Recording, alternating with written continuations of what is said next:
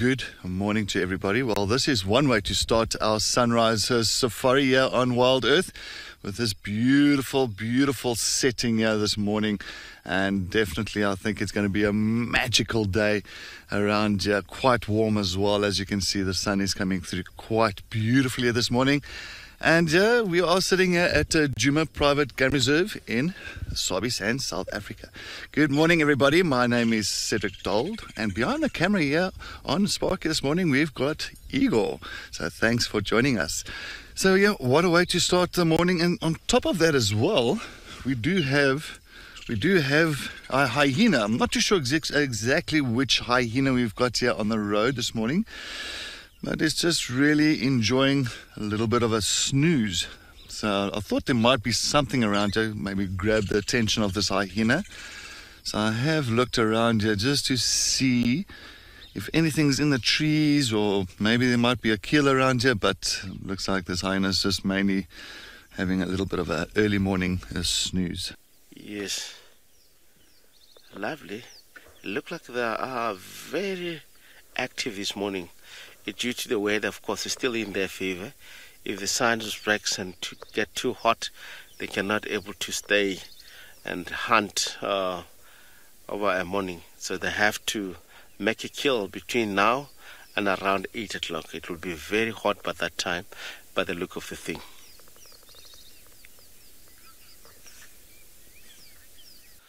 Thanks joining me here. We managed to follow the hyena but the uh, scent that hyena was really showing us from the ground, it was really unbelievable. We follow about a kilometer, and this hyena shows the interest that there's something happened in the area. Eventually, we find leopard tracks in and out in the same spot. We, we follow up according to the environment that in the, in the area. Of course, we're looking for the big trees if there's any leopard, and we're lucky uh, come across this particular individual. No, Tlalamba, then go look at the camera, looking the opposite, looking, of course, if there's any danger around in the area before even taking itself down, because it can be so much dangerous having this hyena here. She's not going to stay due to these um, activities of hyenas.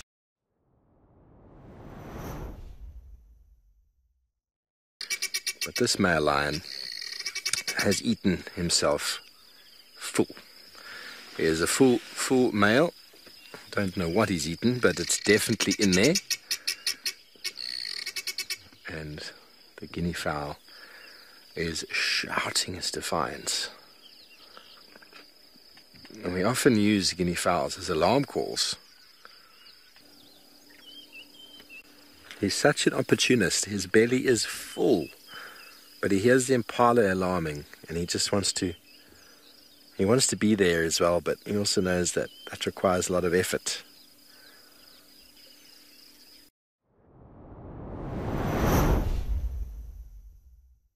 Good day, big old girl, the matriarch of the herd, passed a meter from the vehicle with no issue. Oh, this is an enormous cow. And oh, look at the little one here. All passing right next to the car, like less than about a meter. This is very likely one of the matriarch's latest calves. And I'm saying matriarch, it seems like she is leading the group.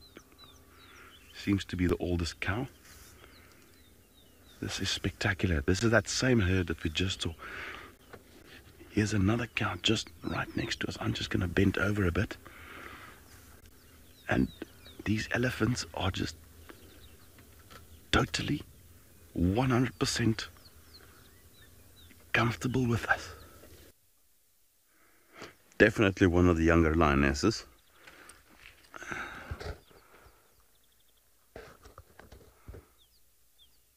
I see the nose has still got a lot of pale pink coloration on it.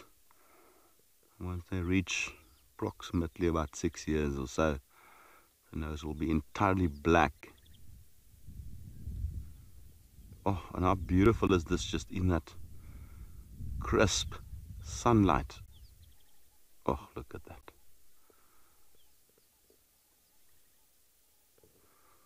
Another thing that you can use the teeth, the canines when it's still a young female, will be very sharp and very white. Over time, they tend to become a bit more yellowed, very much broader at the base, and the tips seems slightly more worn and blunt, or slightly more blunt.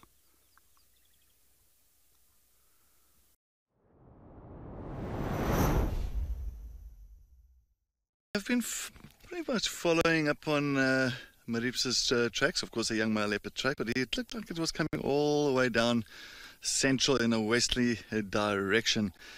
And of course, I thought maybe just come and take a look at this beautiful jackalberry tree. You know, always it's always nice to come and take a look at this tree because uh, you know our Tlalamba, she loves using this tree quite often. And um, how how many times have we seen her up in this tree? And this is as well we saw Tlalamba's uh, two youngsters, of course, uh, you know, this was the last time we saw the two youngsters was in this big jackalberry tree. But now, what do you think is in this tree? I mean, I'm trying to look. I'm trying to figure out, is there anything else in this tree? Does anybody spot anything? Maybe a, gama, a blue-headed agama? Oh, never know. Maybe even some rosettes. You never know. Maybe there could be a rosette. Oh, what, what do I see there? Maybe is it? Is there something lying on that branch there? What do you think, Igor? Yeah, maybe we should look, take a look. And look who we have. It's Maribye, oh, the young male leopard, fast asleep in this big jackalberry tree. But it's just amazing how well camouflaged they are. That's why I always say if you're driving in the park, um, you know, you could just look at, like we always say, look at what you're seeing. That is the main thing. Look at what you're seeing. So if you see a tree, look at that tree. Look at the branches. Look at all around, inside, outside. And how many times you have missed a leopard that's lying in a tree next to a road. I can imagine, even myself, I can imagine numerous times, numerous times. So it's always a very important thing to do is look at what you're seeing. Thank you so much. And make sure that you uh, stay tuned into Wild Earth as straight after our uh, sunset or sunrise safari. I think I'm already on the sunset safari. On our sunrise safari, uh, just stay tuned because uh, we'll have escape to nature straight after this. As I said, and keep your eyes. Maybe I'm hoping Djuma Dam. You'll never know. Maribye might come down there for a drink. But yeah, thanks once again from the Wild Earth team. Have a wonderful morning, afternoon, or evening.